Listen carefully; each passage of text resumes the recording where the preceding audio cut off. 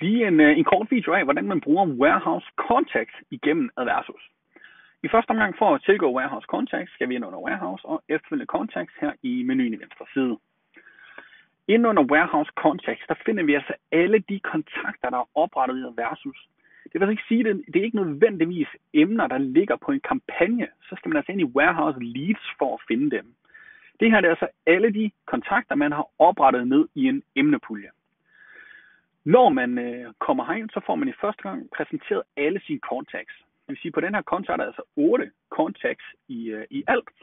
De er fordelt på, på to pools, kan vi se. Vi kan se, hvornår de er, de er oprettet, og hvad for en ID de også, øh, de også har. Udover at få præsenteret den her standard data, så er det altså også muligt, at vi kan gå ind og filtrere os frem til specifikke contacts.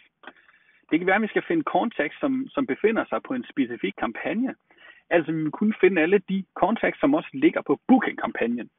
Det er altså kun de her fire fra Booking Pools, de andre ligger altså i en anden kampagne. Det kan også være, at det skal være, at vi kun vil finde emner fra en emnepulje, en decideret pool, hvor de ligger i. Det kan altså være Booking Pool, så vil vi altså kun finde de fire emner, der ligger i Booking Pool. Vi kan også filtrere ud fra, hvornår emnerne eller kontakterne er, er oprettet, og hvad for en ID de har. Øhm, det er også muligt at få noget data på det, altså, så man kan fx se deres navn.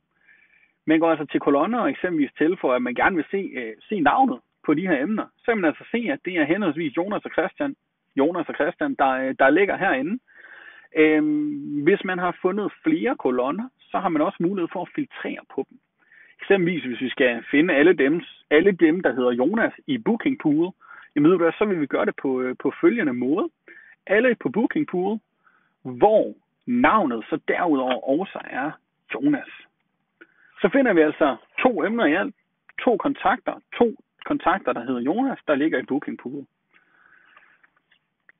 Det er muligt, at man, når man har fundet frem til sine, øh, sine forskellige kontakter, man kan gå til handlinger og lave nogle forskellige handlinger her. Man kan tilføje emnerne til en kampagne. Man kan også slette kontakterne, altså fuldstændig fjerne dem fra versus øhm, så vil man også fjerne den på kampagnen, så frem de skulle ligge på en kampagne. Man kan også blackliste telefonnummerne, der nu engang er tilknyttet de her emner, hvis det er det, man har lyst til. Hvis man har filtreret sig frem til nogle contacts, som man gerne altid vil kunne finde frem til igen, eksempelvis hvis man har kigget på alle dem, der, der er oprettet i går, så man altid ser, hvor mange emner, der er blevet, eller hvor mange kontakter, der er blevet oprettet, jamen så har man mulighed for gennemvisningen her, og så man altså altid kan gå ind under visninger her til højre for, og, øh, og finde frem til, til de emner, der er oprettet i går.